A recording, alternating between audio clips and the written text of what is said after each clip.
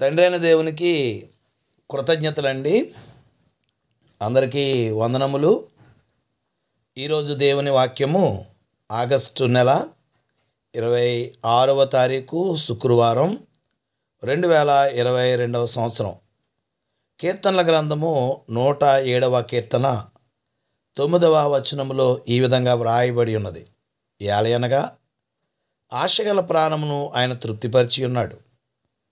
ఆకలి గొనిన వారి ప్రాణమును మేలుతో నింపి ఉన్నాడు.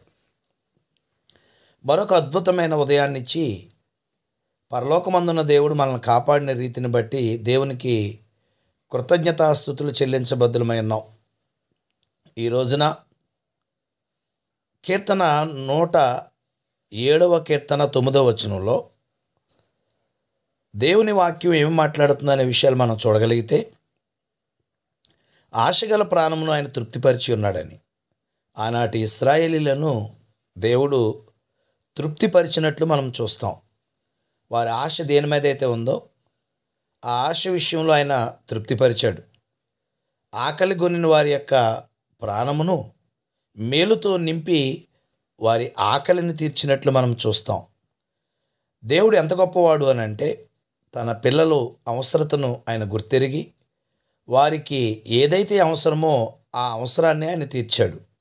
నేటి క్రైస్తవులమైన మనం ఈ కీర్తన ద్వారా తెలుసుకోవాల్సిన సత్యం ఏమిటంటే దేవుని వాక్య ప్రకారము జీవించి దేవుని చిత్తానుసారంగా మనం ప్రవర్తిస్తే పరలోకమందున్నటువంటి దేవుడు ఆనాటి కార్యాలు చేసినట్లుగానే ఈనాడు కూడా మన ప్రాణాన్ని తృప్తిపరచగలడు ఆకలిని తీర్చగలడు.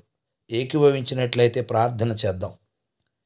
ప్రేమ కలిగిన తండ్రి దయగలిగిన ప్రవ్వ మీరు మాకు అనుగ్రహించిన మరొక అద్భుతమైన ఉదయమును బట్టి వేలాది స్థుతులు స్తోత్రములు. స్థానిక సంఘమును దీవించి ఆశీర్వదించండి. సంఖ్యలో నాణ్యతలో వారిని నడిపించండి. విదేశాల్లో ఉన్నవారిని స్వదేశంలో ఉన్నవారిని జ్ఞాపకం చేసుకోండి. ముఖ్యంగా తండ్రి ఈ ఉదయం మీరు మాకు అనుగ్రహించి నీ వాక్య ప్రకారం బ్రతికేటువంటి గొప్ప స్థితిని మాకు దయచేశారు. స్థానిక సంఘాలను బలపరిచి ఆత్మీయంగా నడిపించండి. ప్రతి ఒక్కరికి సంపూర్ణమైన ఆరోగ్యం ఇవ్వండి.